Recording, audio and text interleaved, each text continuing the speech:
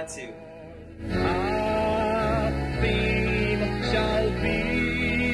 Thank you for tuning in once again. He will lift up Jesus. Delivered by our General Superintendent, Pastor W. F. Kumoye. Colossians chapter 3, verse 10. And I put on the new man, which is renewed in knowledge after the image of him that created him. You find in that verse 10, it talks about the new man. If there's anything we should be talking about in this new year, it's the new man. The new man with a new name. That's the subject we're looking at today. The new man with a new name. Look at that verse 10 again. And I put on the new man, which is renewed in knowledge after the image of him that created him. Well, that's something there. The new man is a recreated man. Look at verse 11. Where there is neither Greek nor Jew, circumcision or uncircumcision, barbarian, Scythian, bond nor free, but Christ is all, in all. Well, that's something there. The new man is someone who has been touched by Christ, transformed by Christ, translated by Christ, transfigured by Christ, conformed unto Christ. Christ is the very foundation and the center of life, of the life of the new man. In verse 12, put on therefore, therefore, because you are now a new man, a new creature, because you are now a recreated person transformed by the Lord, put on therefore, as the elect of God, holy and beloved, by words of mercies, kindness, humbleness of mind, meekness, long-suffering. There we see the virtues of the new man. That the new man has virtue. And those virtues are repeated over there, holy, beloved, kindness, merciful, humble, and also meek and long-suffering. Verse 13, forbearing one another, and forgiving one another. If any man have a quarrel against any, even as Christ forgave you, so do ye. So also do ye. That means then that the new man is the one that has the mind of Christ, the heart of Christ, and he manifests forbearance and forgiveness. In verse 14, and above all these things, put on charity. Wear charity and love like a garment. Put on charity like you put on your clothes. And let charity be seen all over you in your action, in your operation, everything that you do because you put it on. Above all these things, put on charity, which is the bond of perfection, perfectness. And let the peace of God rule in your heart. Charity on the outside and peace on the inside. The new man is a peaceful man. There's no turmoil within. There's no conflict within. There's no confusion within. There's no raging wave within. The new man has peace within. Is a peace-loving person and he also makes the peace flow to other people. Let the peace of God rule in your hearts. To the which also ye are called in one body, and be ye thankful, and let the word of Christ dwell in you richly, in all wisdom, teaching and admission one another, in psalms and hymns and spiritual songs, singing with grace in your heart to the Lord. The new man is a person that is filled with the scripture. The new man is a person that is admonishing other people. The new man is singing, singing spiritual songs, not worldly songs, singing with grace in the heart, not singing with anger. And it says you are singing with grace to the Lord in your heart. You do it to the Lord. And whatsoever you do, in word or deed, do all in the name of the Lord Jesus, giving thanks to God and the Father by him. The new man is a person that looks at everything he does. And he says, because I'm new, a new man, with a new name, with a new life, whatsoever I do will have that stamp of newness. Verse 18. Wives, submit yourselves unto your own husbands as it is fit in the Lord. The new man is a submissive man. The new woman is a submissive woman. The submission at home. And it is that kind of lifestyle in the family. Submission of the wife to the husband. And the love of the husband for the wife that shows clearly that something has happened. The new birth has taken place. A regeneration has occurred. There is salvation. And there is the new birth with eternal life. Husbands in verse 19, love your wives and be not bitter against them. That's the new man.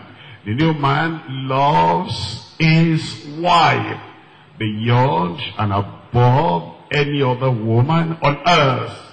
And in verse 20, children, obey your parents in the Lord. Obey your parents in all things. That's the newness of life. That's what shows we're born again. That if children are born again and they become new children too, they will obey their parents in all things. Not in some things and not in the major things. Everything. But this is well-pleasing unto the Lord. Fathers, provoke not your children to anger, lest they be discouraged. Fathers, if we're new, we're not going to provoke our children or anyone. Servants, obey in all things your masters according to the flesh. In our places of work, between us and our managers, our directors, and the people who are leading us, between us, the students and their teachers and their principals, there's going to be that obedience and that submission to authority. If we have real newness of life in the church between the members and our leaders, the members and the coordinators, the coordinators and the group coordinators and the whole church and the pastor. There's going to be that obedience. It is the evidence of the new life. Servants obey in all things your masters according to the flesh, not with eye service as men pleasers, but in singleness of heart, doing what? Fearing God. That's the newness in verse 23. And whatsoever ye do, do it heartily as unto the Lord, not unto men. I'm looking at Isaiah chapter 62. Isaiah chapter 62. The new man with a new name. The new man with a new name. We're looking at Isaiah chapter 62 verse 1. For Zion's sake will I not hold my peace. And for Jerusalem's sake I will not rest until the righteousness thereof go forth as the brightness and the salvation thereof as a new lamb that burneth. The Gentiles shall see thy righteousness and all kings thy glory. And thou shalt be called by, tell me aloud, by a new name. This new year, a new man. This new year, a new name. And it says, thou shalt be called by a new name, which the mouth of the Lord shall name. Thou shalt also be a crown of glory in the hands of the Lord. When that new name comes from the Lord, it makes you to have the crown of glory in the Lord. And a royal diadem in the hands of thy God. Thou shalt no more be termed forsaken. Neither thy land any more be termed desolate. But thou shalt be called Hephzibah. That means my pleasure. The Lord is going to say, you are my delight.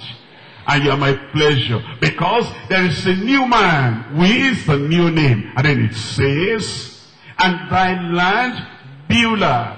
That means marriage. Thy land Beulah, For the Lord delighteth in thee. And thy land shall be married. Look at verse 5. As a young man marrieth a virgin so shall thy sons marry thee. And As the bridegroom rejoiceth over the bride, so shall thy God rejoice over you this year. I've set watchmen upon thy walls of Jerusalem, which shall never hold their peace day nor night. Ye that make mention of the Lord, keep not silence. Proclaim the message. Declare the message. Spread it abroad. You're a new man with a new name. And the Lord says you are Hephzibah. And he has delight and pleasure in you. And he'll be so united to you as the bride is united to the bridegroom. And he says you have nothing to fear, nothing to worry about. Let the delight and the mercy, the compassion, the joy of the Lord be your strength. And then go out this year and go and succeed. And let the pleasure of the Lord, the glory of the Lord shine upon your life. Then it says that you give him no rest in verse 7 till establish until he make Jerusalem a praise in the earth. Till this church shall become glory, glorious. And he prays in the earth that will not keep quiet. In verse 8 the Lord has sworn by his right hand and by the arm of his strength, surely I will no more give thy corn for meat to thine enemies. That the sons of the stranger shall not drink thy wine, for the which thou hast labored. This year, you'll enjoy the work of your hand. Enemies will not take whatever belongs to you. And when you come to the church, you come to retreat, you come to a conference or anywhere, your property will be totally preserved. Verse 9, for they that have gathered it shall eat it. And praise the Lord. They that have brought it together shall drink it in the courts of my holiness. Go through. Go through the gates. Prepare ye the way of the Lord. Cast off. Cast off the highway. Gather out the stones. Lift up a standard for the people. This year we're lifting up the standard. In every family we'll raise up the standard. In every district church we're going to raise up the standard. In the central church at the headquarters we're going to raise up the standard. In every family and every community we're going to raise up the standard. And the standard that is broken down it is time, and it is this year. It will be up in Jesus' name. Behold, the Lord has proclaimed unto the end of the world. Say ye to the daughter of Zion, Behold, that salvation cometh. Behold, the reward is with him, and his work before him. They shall call them, this is our name, the holy people, the redeemed of the Lord. And thou shalt be called, sought out, a city not forsaken. As we look at the scriptures this Sunday on the new man with a new name. The new man with a new name. I divide the message to three parts. Number one, the new name of the new man. The new name of the new man. And God says that in this new year, He wants to do something new in our lives. And because of that, He even has to change our names. Your names are changed. No more failure, but success. No more sadness, but joy. Happiness in Jesus' name. No more barren, but you are fruitful. No more poor, but you are prosperous. Because this year, there is a new man. There is a new man. Where is that new man now today? Oh, you are there. I see you. And then you have a new name. I said you have a new name. And you'll see that blessing upon your life in Jesus' name. Point number one, the new name with of the new man. Point number two, the new nature of the new man. The new nature of the new man. Number three, the new nation of the new man. The new nation of the new man. Number one, the new name. Number two, the new nature. Number three, the new nation. Let's come back to this um, passage in Isaiah chapter 62. Isaiah chapter 62. I'm reading to you from verse 2. And the Gentiles shall see thy righteousness, and all kings thy glory. And thou shalt be called by a new name, which the mouth of the Lord shall name. The new name of the new man. What name is that? Let Isaiah tell us. We're looking at Isaiah chapter 1. Isaiah chapter 1, verse 26. And I will restore thy judges as at the first, and thy counselors as at the beginning. Afterward, thou shalt be called the city of righteousness, the faithful city. That's the new name. The city of righteousness. That means that the whole church will be referred to as the community of righteousness. As a city of righteousness as a nation of righteousness, which means then every member will have this new name, righteousness. And then it says the faithful city, which means everyone then has this new name, which is righteousness and faithfulness. We're looking at chapter 4 of Isaiah. Isaiah chapter 4. I'm reading from verse 3. And it shall come to pass that he that is left in Zion, and he that remaineth in Jerusalem, shall be called holy. That's a new name. Shall be called holy. Even everyone that is reaching among the living in Jerusalem. That means that this year, you will not be called backslider. You will not be called sinner. You'll be called holy everyone that is reaching among the living. Thank God that is you. Look at verse 4. When the Lord shall have washed away the fields of the daughters of Zion, and shall purge the blood of Jerusalem from the midst thereof by the spirit of judgment and by the spirit of burning. You see the new name the Lord is calling us. We're looking at Isaiah chapter 58 verse 12. Isaiah 58 verse 12.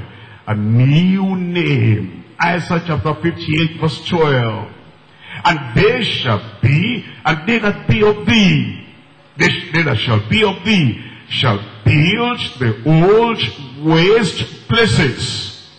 Thou shalt raise up the foundations of many generations, and thou shalt be called the repairer of the breach, the restorer of paths to dwell in. This year, you will not be a destroyer. You will be a repairer. And you'll be a restorer. You see, that's the new name the Lord is calling us. It's saying, all those people are called by my name. They are there to repair. They are there to restore. And they are there to restore my glory unto the land. They are there to repair whatever is broken down. You'll be a repairer, you'll be a restorer in Jesus' name. Isaiah chapter 60 verse 14. The new name by which we are called. We're looking at Isaiah